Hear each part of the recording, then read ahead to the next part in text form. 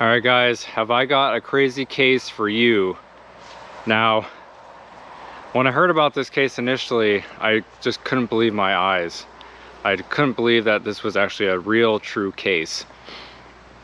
I made it up here to Dover Plains, New York, and this is where the victims were supposed to be buried. I walked around the whole cemetery.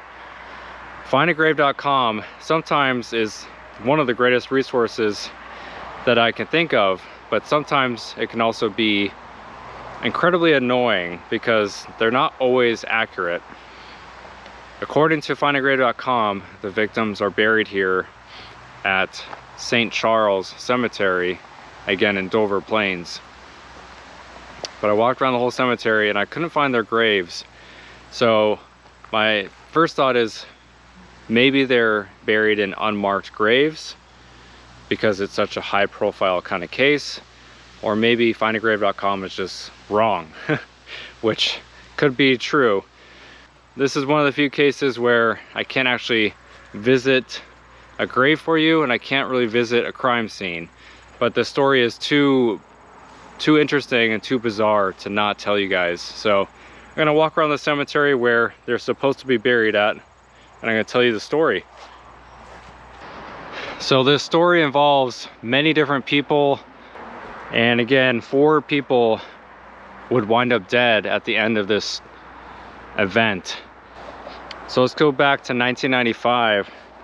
Steven Pladl was 20 years old back then in 1995. He met a 15 year old girl named Alyssa on the internet. She soon became pregnant and gave birth to a girl that they named Denise.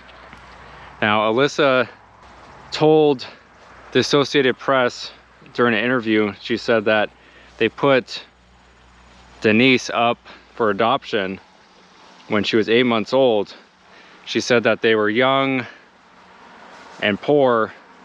And she also believed that Steven physically abused the baby.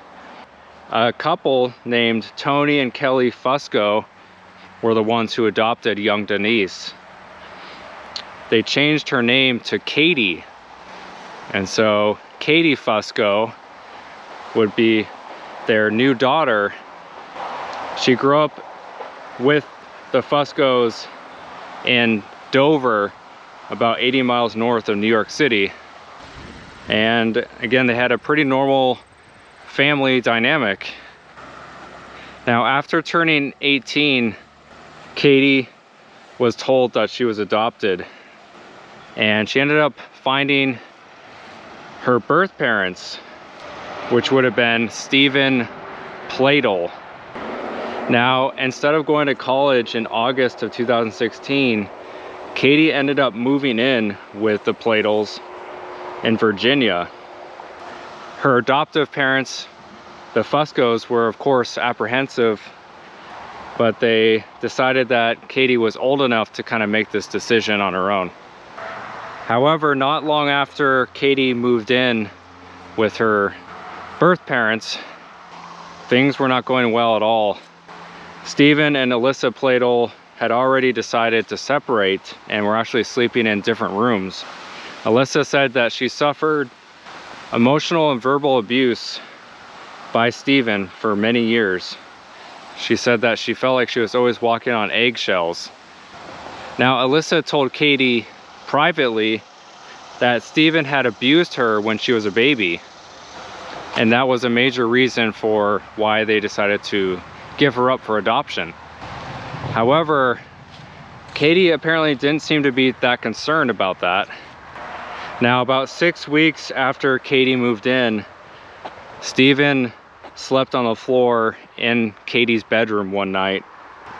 He apparently slept on the floor again the next night, and so Alyssa confronted him about it and he said it was none of her business. Now in May of 2017, Alyssa had already moved out of the house at this point. Uh, Alyssa found out from her other daughter who was 11 that Steven and Katie had started a, a relationship. Obviously incest, of course. And that Katie was pregnant with Steven's child. Now, of course, as you can imagine, Alyssa was absolutely furious and also hysterical. Alyssa confronted him and said, is Katie really pregnant with your baby? And Steven responded with, I thought you knew. We're in love. So of course, after hearing that her own husband got their daughter pregnant and was starting a relationship with, with him, she said, how could you? You're sick. She's just a child. She called the police, of course. On July 20th, 2017, two months after Steven and Alyssa's divorce was finalized, Steven married his daughter Katie in Maryland. They lied on their application saying they were unrelated. And on September 1st, Katie gave birth to her and Steven's child named Bennett. She and Steven then moved to a house in North Carolina. However, things did not last very long. They were arrested on incest charges in January and a judge ordered them to have no contact with each other and Steven's mom had custody of Bennett. Now on April 12th, 2018, Katie and her adoptive father, Tony Fusco, left the Dover home for a nearby town called Waterbury and waiting for them was Steven.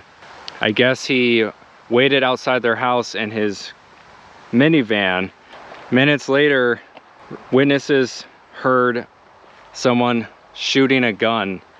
Stephen pulled up next to Katie and Tony and opened fire. Ended up killing both Tony Fusco and again his own daughter slash wife.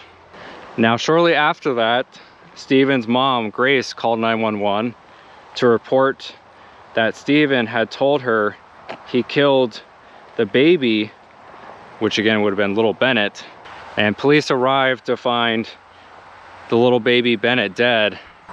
Now this, this whole case is just a whirlwind of events.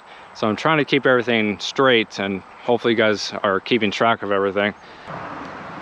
Now, only a few miles away from Dover, New York, police found Steven's minivan parked on the side of the road. When they got to the driver's side door, they found Steven Pladl dead. He killed himself with a self-inflicted gunshot to his own head. So in a matter of a few hours, essentially, Steven killed Katie, her adoptive dad, Katie and his son, and then killed himself.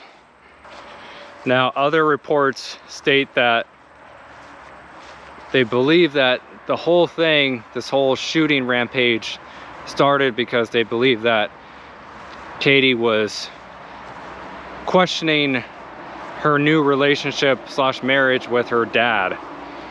And I think she was thinking of maybe taking a break from the marriage or potentially ending it. And so, of course, Steven did not like that and decided that if he can't have his own daughter as his wife, and if he can't have his son then I guess he didn't want anyone to have them. So just an unbelievable case that is still boggling my mind. I really shocked to put it lightly. This whole case is just mind-blowing. So again, let me know what your thoughts are on this whole thing in the comments down below. I'll see you guys on the next video. We'll see you guys soon.